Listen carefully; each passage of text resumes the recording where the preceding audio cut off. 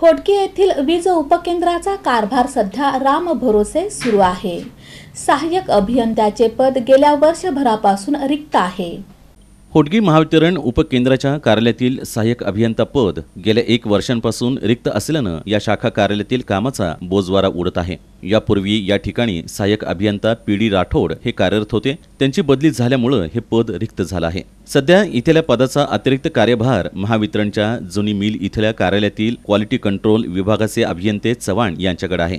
Quality कंट्रोलच्या विभागाकडे तालुक्यातील सर्वच उपकेंद्रांचा आणि साखर कारखान्यांचा कार्यभार आहे.